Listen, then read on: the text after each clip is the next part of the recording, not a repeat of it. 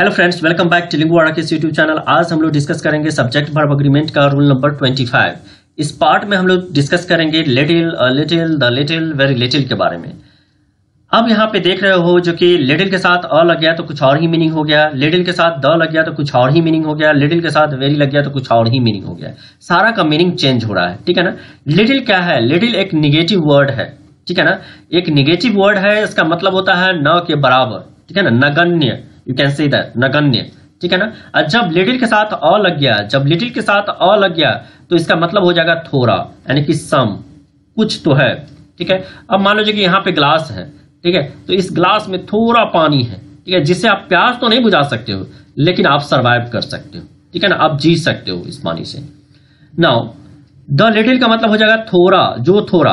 यानी कि इसमें जो भी थोड़ा पानी है, एक तो पानी है नहीं, लेकिन जो भी थोड़ा पानी है, वो सारा का सारे आपने पानी पी लिया जब द लिटिल लग जाएगा तो। ठीक है? अब वेरी लिटिल का मतलब होता है बहुत ही कम मात्रा में। ठीक है ना? क्या हो गया? बहुत ही कम मात्रा में। लिटिल के साथ हमेशा और हमेशा क्या होता है? अनकाउंटेबल नाउन का यूज़ होता है। जब अनकाउंटेबल नाउन का यूज़ हो गया तो क्या हो जाएगा? इसके साथ क्या हो जाएगा? सिंगुलर वर्ब का यूज़ होगा। क्लियर है? अब यहाँ पे देखो लिटिल है तो लिटिल के साथ वाटर आया अनकाउंटेबल नाउन है little time little money little soup ठीक है? तो लिटिल के साथ क्या होता है? हमेशा और हमेशा अनकाउंटेबल नाउन आता है, इसके साथ हमेशा सिंगुलर वर्ब का यूज़ होगा। एग्ज़ाम में आपको इसी तरीका से क्वेश्चन पूछा जाएगा लिटिल के साथ अनकाउंटेबल नाउन की जगह आपको प्लूरल काउंटेबल नाउन दे देगा। ठीक है ना? सिंगुलर वर्ब की जगह प्लूरल वर्ब दे देगा तो ये सब आपको ध्यान में रखना है। क्या होता है? लिटिल के साथ हमेशा और हमेशा क्या आएगा? अनकाउंटेबल नाउन का यूज़ होगा और अनकाउंटेबल नाउन है तो इसके साथ सिंगुलर वर्ब का यूज़ होगा। ठीक है? नाउ अब हम लोग इसके इसके बारे में पूरा डिटेल से समझते हैं। ठीक है? लिटिल अब लिटिल जब विदाउट अ होगा इसमें कुछ भी नहीं लगा होगा लिटिल ही होगा। तो इसका मीनिंग क्या होता है? नियरली नो या you can say that nearly nothing न के बराबर, नगण्य, ठीक है? अब यहाँ पे देखो सेंटेंस से समझो। There was little food in the fridge it was nearly empty ठीक है? अब यहाँ पे लिटिल फ़ूड का मतलब क्या हो गया? लिटिल फ़ूड का मतलब हो गया न के बराबर फ़ूड न के बराबर कुछ था उसमें, ठीक है ना? तो there was little food in the fridge यानी कि फ्रीज में न के बराबर फ़ूड था। It was nearly empty it was nearly empty यानी कि पूरी तरीका से खाली ही था। ठीक है? न के बराबर था उसमें। अब you can say that very little ठीक है? अब रिया, अब वेरी लिटिल के बारे में आप देख लो। वेरी लिटिल की मतलब क्या होता है? वेरी लिटिल का मतलब क्या होता है? बहुत ही कम मात्रा में। बहुत ही कम मात्रा में। तो Riya is very thin because she eats very little यानी कि नियरली नथिंग यानी कि न के बराबर वो कुछ खाती है। तो रिया क्यों थीन है? रिया क्यों दुबली पतली है? Because she eats very little क्योंकि वह बहुत ही कम खाती है, न के बराबर खाती है, इसलिए वो पतली है। तो वेरी लिटिल के बारे में पता चल गया? लिटिल के बारे में और वेरी लिटिल के बारे में, ठीक है ना? अब यहाँ पे देखो, एक क्वेश्चन पूछा जा रहा है। कैन यू स्पीक इंग्लिश क्या आप इंग्लिश बोल सकते हैं? ठीक है?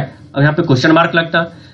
तो यहाँ पे क्या कह रहा है? अ लिटिल अ लिटिल का मतलब क्या हो जाएगा? अ लिटिल का मतलब क्या हो जाएगा?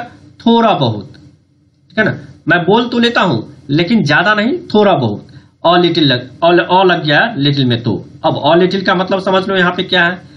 सम बट नॉट मच यानी कि सम बट नॉट मच ठीक है ना? कुछ, थोड़ा बहुत, ज़्यादा नहीं।